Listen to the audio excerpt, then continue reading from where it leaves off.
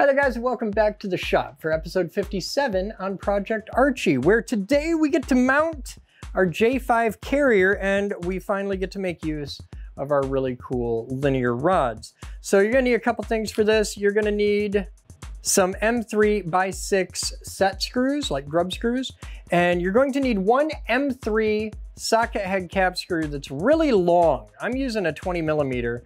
The instructions are gonna tell you you want an M4, and that's a lie. It's an M3, I'm sure, I checked. And you're gonna need your rails, you're gonna need your carrier, and this is, there's a lot going on in this one, but you got it. Just stick with me, we're gonna get through this. So begin by grabbing your J5 assembly here. And you're gonna put your carrier in with the palm nut off to the right and the little tabbity bit up because you've got your two bearings here, okay? Down in front, up and back, like stadium seating, and you'll see that these two holes line up with these two holes, right? Okay. So that's step one. Step two, into those two holes, we're gonna drop our rods and we're gonna get these right into our little linear bearings and you may have to wiggle a little bit, but it should just drop right in there. No forcing, should just pop right through. Okay. And then we're gonna do that in the other hole up here. And you can, you can see it down in there. You just line it up, send it right through. Okay, so now you've got your shafts in the thing and everything's cool. That's how you want it to be. Now don't take the shafts any further than just through the thing because you have to take your big M3 bolt that's really long. It doesn't matter how long it is, but just the longest one you got handy and put it in this hole right here. Okay, that hole wants an M3 bolt, see? And it's just gonna go right down in there with just the lightest of fingertip pressure until it bottoms out. And all we're doing here is making sure that hole stays clear because the shaft that you're about to run into that hole, there's another shaft going in that hole down there.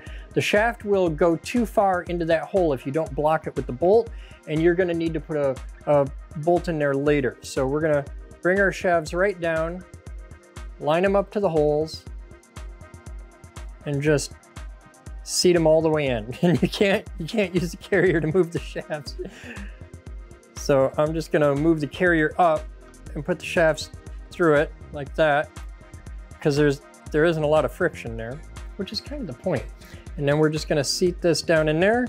And I'm gonna stand it up on end and I'm gonna use just a driver and the tiniest of hammers I have a little jewelry hammer and we're just gonna seat these all the way in.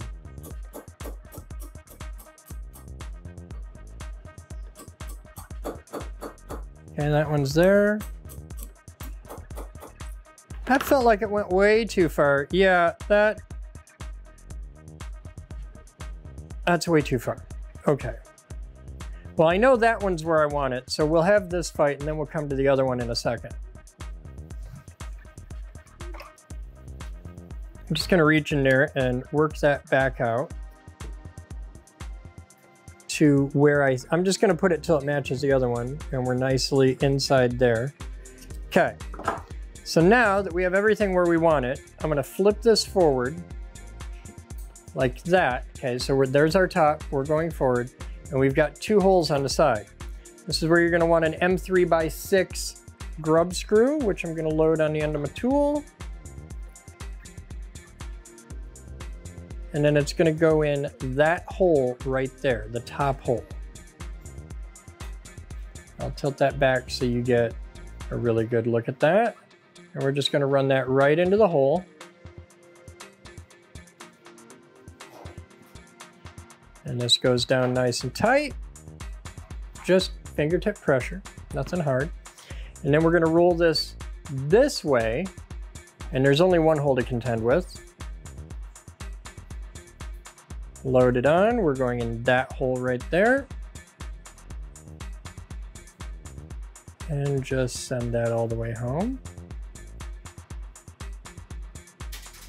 Beautiful. Yeah, it's lovely. All right.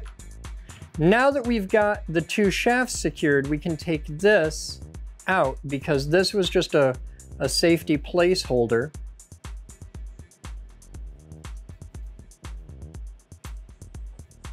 And we're in. We've, we've mounted our carrier and now as this moves back and forth, it isn't, it, it doesn't move the shafts.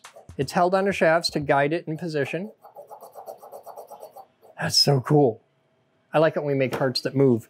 And that's it for episode 57. We've got everything sorted out. All of our parts are together. You've made a linear slide assembly for the J5 carrier.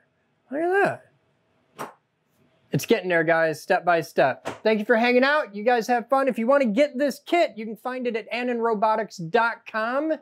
And uh, they've got some pretty cool forums there. I have a giant Discord with a ton of people in it that are hanging out right now as we do this live, watching this. And you could be one of those people. Get in the links below, check out some cool stuff, learn some things. And if you're building your robot, I want to see pictures. If you're following along on these videos, I, I want to see pictures. I want to I want to hear your story. I want to I want to know everything you got going on with this because it's exciting to me. You guys have fun and thank you for learning stuff. I'm Chris Boden, and as always, we'll see you next time.